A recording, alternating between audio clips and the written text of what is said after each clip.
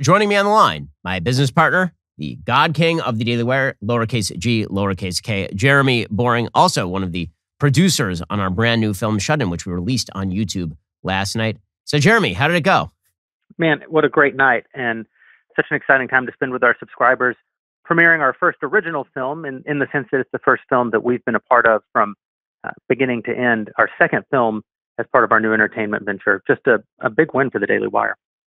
I'm really excited about it. A lot of the reviews that have been coming in about Shut In have, have noted what I think is really important, something that it, you and I and Caleb Robinson, our other business partner, decided very early on, which is if we were going to jump into entertainment, which was a risky move, we needed to make stuff that people actually wanted to see, not people felt like they had to see. We were going to provide people a safe space where they felt like they weren't going to be attacked for their values, but also we didn't want to make stuff that was like it's morally obligatory for you to see this or you will burn in hell. It was more like this is stuff that I would want to sit down with my wife and watch because it's on Netflix or Disney Plus or Hulu, but it's just not going to kick me in the groin over my values. Yeah, that's exactly right. You know, people keep asking me, what's the defining characteristic of a Daily Wire movie? And I think over time, people will define our content more for what's not in it than what is. What I mean by that is that from a values point of view, of course, we want films that are uh, consistent with our values, that our audience will agree with on a values level. But that doesn't mean that we're making, you know, polemical or evangelical kind of content that's meant to change someone. We're, we're making entertainment. We're making art. Sometimes art's even challenging. But what won't be in our movies is that left-wing sucker punch, that thing that we all experience every time we turn in, turn on the TV at night. Or you sit down with your family. You're watching a film, characters that you love, maybe a TV show, characters that you've spent years with, and then somewhere in the third act, the filmmaker has to tell you that he's glad to have your money, but he but these characters don't belong to you you know they put in the the left wing diatribe or that uh, that joke at your expense that's just meant to alienate conservatives, meant to keep us in our place. That's what's not going to be in our movies. So, Jeremy, one of the big stories in the media world this week is is the fact that Daily Wire, thank God, has become a very large, successful company. Uh, we did an annual revenue of $100 million last year. And I think people should understand how expensive it is to produce film. I mean, first of all, $100 million sounds like a big thing for a company. And the big studio spent $100 million on a single film. Um, but the the, re, the, reality is spend hundred million dollars marketing a single film. That's that's right. so the, the the reality is that what we're embarking upon here in trying to compete with the left wing cultural monopoly is a very expensive proposition, which is why you know our members mean so much to us. It's not just that the members are part of the team and part of the crew and they get to see all the content. They're what makes it possible for us to actually compete with these guys. Yeah, I think that you and Caleb and I had a moment at the end of 2021 where we realized you know, we could cash out here. We could start taking a lot of distributions out of the success that we've made. We could buy boats. Uh, but then what? And we made a conscious decision. Well, instead of doing that, we're young, we're, we're not risk averse.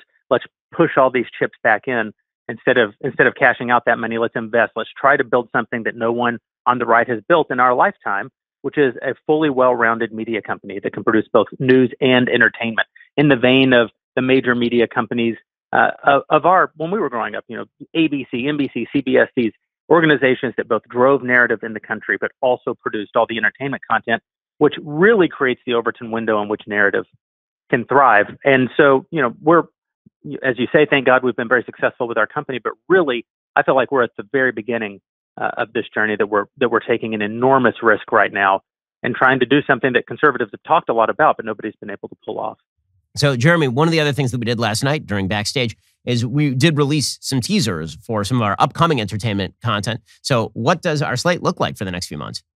Yeah, so very excited to announce that uh, on March 10th, a month from now, we'll be releasing our third film, The Hyperions. This is not a film that we uh, produced from the ground up, but rather an acquisition. And I couldn't be more excited about it. The filmmaker, John McDonald, is a true auteur. I mean, the, the degree of specificity in every single shot, the originality in every single shot. It's as if Wes Anderson made Pete's Dragon with these amazing values of family and uh, you know, overcoming pride and reconciliation. Interestingly, the filmmaker not a conservative, uh, but someone who made a film that I know conservatives will relate to, a, a film that really does uh, sort of speak to the sort of universal values that used to be replete in art and now are actually very refreshing when you find them at all. And then, of course, we released the teaser trailer for our film with Gina Carano, the canceled star of The Mandalorian. You remember Disney canceled her for literally nothing. Uh, they canceled her for far less offensive comments than they gave Whoopi Goldberg two week suspension for uh, over at The View. Um, Gina's movie, Terror on the Prairie, people are going to be listen. People have low expectations when you say the Daily Wire is getting into movies. They expect you're going to make like Hillary's Hard Drive Part Three or something. You know, uh, I know they have low expectations, and we blew their socks off with Shut In. They also have low expectations for Gina because you know you're coming off of Disney, you're coming off of Star Wars. Now you're going to go make a movie with Ben Shapiro and Jeremy. But like, of course, that when they see this movie, people are not going to believe it. It is a truly theatrical worthy uh, Western. Um, I, I think Dallas Sonnier, our producing partner, has never been better. People are just going to have their socks blown off by this film. Well, one of the things I'm really excited about there is we're beginning to hit a broader and broader audience. So, Run, Hide, Fight is obviously a, a, an R-rated film. Shut In is yep. R-rated. Uh, Hyperions is not. Uh, Hyperions is is directed more toward family-friendly content. Yeah, you know, it's still uh, it's still not for the little ones, right? We're we're we're not making rated G content at this point, but yes, it's absolutely a much more accessible film. It it doesn't have that sort of uh, you know, some people have said on Twitter yesterday. I noticed somebody said, "Why are all Daily Wire's movies horror movies?" And I don't actually think we've made any horror movies, but they are speaking to something, which is we're making movies that are suspenseful. We're making movies that are action oriented. We are making movies that have some scares in them.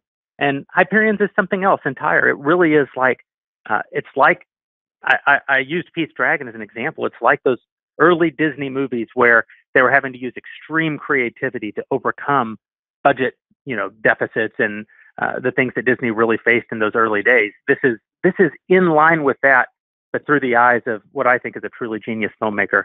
Uh, and so, yeah, a, a film that I think will be more accessible and will broaden the audience. And folks, we had a huge audience that watched Shut In with us last night on YouTube. And um, and if you have the opportunity to, to see it now, the only way you can see it is by becoming a member over at dailywire.com slash subscribe. So please go become a member today. It really helps us out because, again, our broader mission is to challenge Hollywood at the highest level. We really want to push back on the fact that they have a cultural monopoly that shapes the, the minds of hundreds of millions of people, billions of people around the world.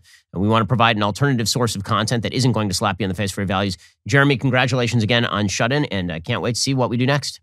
Yep, and to you. We're in a battle for the culture and for our values. Like and subscribe to help keep our videos on the front line of the fight and top of your feed.